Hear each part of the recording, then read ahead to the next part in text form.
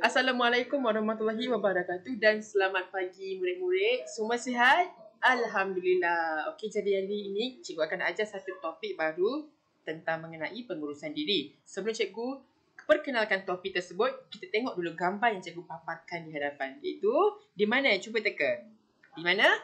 Ruang tamu? Eh bukan, di bilik tidur. Okey, siapa ada bilik tidur masing-masing? Kat tangan. Okey, siapa angkat tangan? Tepuk, ba tepuk bahu pandai. Okey, cikgu pun ada bilik tidur. Okey, sebenarnya apa yang ada yang ada dalam bilik tidur? Kita ada macam-macam perabot, peralatan kan?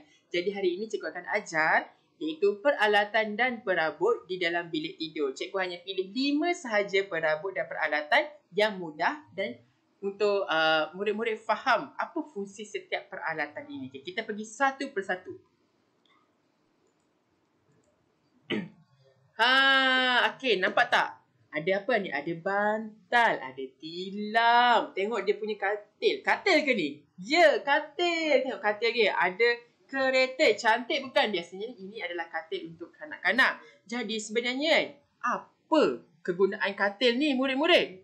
Untuk apa? Untuk makan? Eh, tidak. Untuk apa?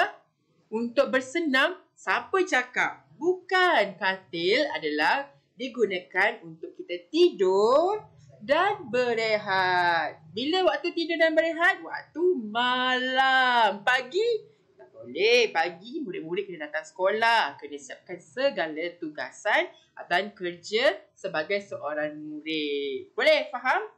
Okey, kita pergi ke perabot lain pula. Okay, cikgu tekan ya. Ha, wah, cantiknya ada banyak baju dalam tu. Okey, agaknya apa nama peralatan dan perabot ini? Di dalamnya ada baju, ada seluar. Hmm, agak-agaknya apa? Almari baju pandai tepuk bahu. Ha, okey. Siapa yang ada almari baju di rumah? Cuba angkat tangan. Pandai. Okey, almari baju ni apa kegunaan dia? Untuk apa? Murid-murid untuk menyimpan baju dan seluar dengan kemas. Okey, siapa yang lipat baju?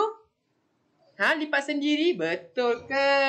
Okey, biasanya kalau kita tak pandai lipat baju, siapa yang lipat baju untuk kita? Mak, pandai. Okey, kenapa kita kena kemas dan lipat baju? Kena simpan baju di dalam almari. Untuk apa? untuk kekalkan bau wangi baju. Selain, uh, selain itu untuk supaya baju tidak berbau busuk. Lagi-lagi supaya untuk melatih kita berdisiplin. Okey, kita pergi ke next perabot ataupun perabot seterusnya. Okey, kita dah belajar berapa hari ni perabot? Dua. Yang satu tadi adalah katil. Yang kedua adalah almari baju. Okey, kita pergi yang ketiga ke? Wah, cantiknya. Okay, tengok atas dia ada buku. Ada gunting. Ada pensel. Ya, dalam tu pula ada pensel warna.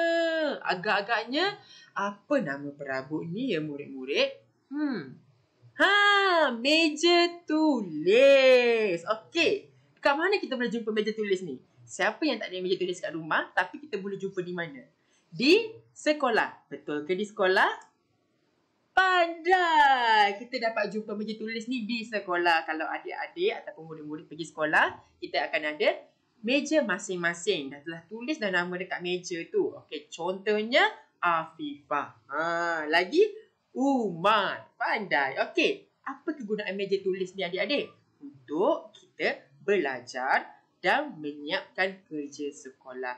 Andai kata cikgu nak duduk atas meja, boleh ke? Tak boleh. Kenapa tak boleh? Namanya kurang sopan. Okey, sekarang cikgu nak makan atas meja. Boleh ke? Boleh dengan syarat kita kena kemas semua peralatan di atas meja, kosongkan supaya makanan kita tidak terkena pencil board, pencil case, pensel dan sebagainya. Nanti tak rosak lah. Lagi-lagi kalau ada buku atas meja. Kita kena kemas siap-siap. Boleh faham? Okey. Okey, sekarang kita pergi ke empat peralatan dan perabot di dalam bilik tidur. Ha. Apa? Almari baju? Bukan. Tadi kita dah belajar almari baju. Yang ini bukan almari baju. Tapi ini adalah... Deng deng deng. Rak buku. Okey, apa kegunaan rak buku ni murid-murid? Untuk apa? Hmm, cikgu nak letak rak buku ni, cikgu nak letak Hmm, ah, cikgu nak letak makanan cikgu lah. Cikgu nak letak Maggi. Cikgu nak letak Milo. Boleh ke? Kenapa tak boleh? Oh, sebab ini adalah dalam bilik tidur. Dalam bilik tidur kita tak boleh makan ataupun menyimpan makanan. Betul tak? Makanan kita simpan di dapur. Jadi, kegunaan rak buku ni apa? Nama lagi rak buku. Mestilah kita simpan buku. Buku apa? Buku cerita, buku tulis, kerja sekolah, textbook dan sebagainya. Pandai. Okey, ingat dalam ingat dalam kepala masing-masing rak buku untuk, untuk kita simpan buku. Okey, tepuk bahu. Tepuk sikit. Pandai. Dan peralatan yang terakhir. Satu, dua, tiga. Cikgu cak. Ha. Wah, berkelip-kelip. Ha, apa yang kelip-kelip tu adik-adik? Lampu bilik. Apa fungsi lampu bilik ni? Ha, kita tengok fungsi lampu bilik. Wah, gelap lah. Apa yang kita nak buat? Kita akan buka lampu. Ya, itulah fungsi dia adik-adik. Ha, fungsi lampu bilik ialah dipasang pada waktu malam atau keadaan bilik yang gelap. Anda kata cikgu nak buka lampu pada siang hari. Boleh ke tak? Boleh ke tak? Boleh?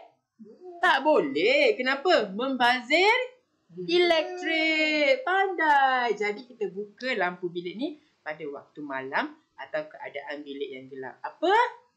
Buka lampu bilik untuk buat kerja sekolah? Boleh kalau belum siap lagi malam. Okey, pandai semua. Jadi itulah peralatan dan perabot di dalam bilik tidur. Apa dah yang pertama? Katil. Yang kedua, almari baju. Yang ketiga, meja tulis. Yang keempat, rak buku. Dan yang kelima, lampu bilik. Pandai. Okey, jangan lupa selepas uh, murid-murid melihat video yang cikgu sediakan ini, jawab soalan di Google Form. Minta tolong ibu bapa bacakan sekiranya murid-murid tidak dapat membaca. Okey? Dan jangan minta mak ayah jawab tau. Jawab sendiri. Terima kasih. Assalamualaikum warahmatullahi wabarakatuh.